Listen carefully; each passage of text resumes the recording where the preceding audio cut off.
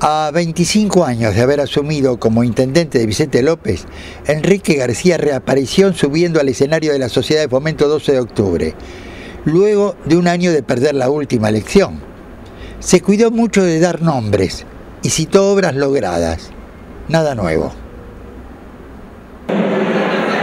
Pasaron los años, esa relación se mantuvo con todos, pero acá nadie venía a ayudar al partido de Vicente López. Nadie venía a decir, podemos hacer las obras hidráulicas que cuestan tanto dinero. Y yo le pedí a todos obras hidráulicas.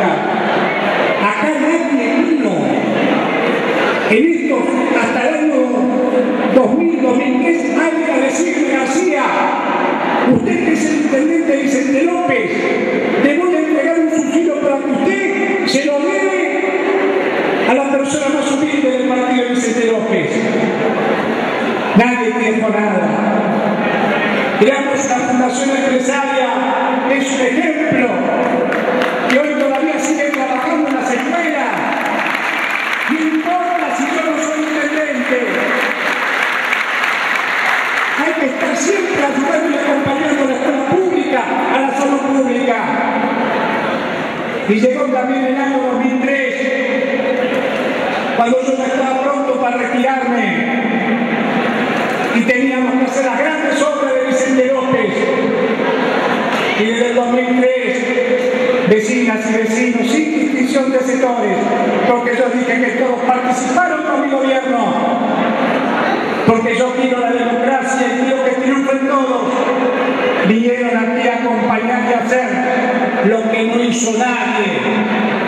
En ocho años, 2003-2011, que yo me retiré, se transformó el partido de Vicente López con obras públicas por 720 millones de pesos.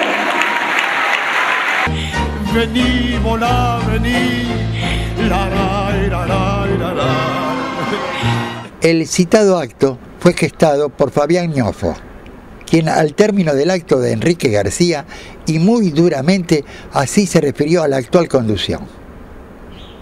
Trabajamos un grupo grande de gente para que el mejor intendente de la historia de Vicente López tenga su reconocimiento a 25 años de haber asumido por primera vez. 1.200 personas demuestran que, que estamos por el buen camino y seguramente vamos a tener la oportunidad de volver a ser gobierno si nos sigue acompañando vecino como lo demostró hoy. Eh, veo que eh, has este, metido una cantidad de carteles por todos lados, señal de presencia, pero también de, de que estás metiendo la mano en el bolsillo como todo, como loco, ¿no? No, bueno, acá hay que tener presencia en la calle y tener la oportunidad de decirle al vecino qué es lo que está pasando con este gobierno.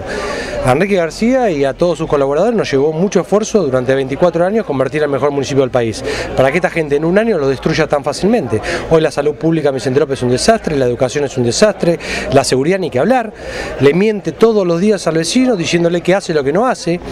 Eh, más policía, más patrullero, cuando en realidad son empleados municipales vestidos de policía en autos que no son policías, o sea, no andan con armas, no andan con, con nada y simplemente quieren dar una sensación y Vicente López ha, crecido casi el 300% el índice delictual del distrito. Entonces salimos a decirle al vecino, miren, lo que le están contando no es verdad. Eh, esta es la realidad de Vicente López. Nosotros queremos retomar el camino eh, que, que tuvimos durante 24 años de crecimiento para convertirlo en el mejor municipio del país. Fabián, esto que estás diciendo lo estás diciendo con datos precisos. Exactamente, exactamente, datos precisos. O sea, él dijo que puso más policías en la calle, hizo el anuncio, llegó en, en la BL a, a todas las casas. Es mentira, son empleados municipales que están vestidos como si fuesen policía y los vehículos le puso la palabra patrulla, que en realidad son lo que nosotros teníamos inspectores de tránsito. Andan con un talonario de multa. O sea, salvo que quieran hacerle multa a los delincuentes, que me parece que es poco serio, otra cosa no pueden hacer.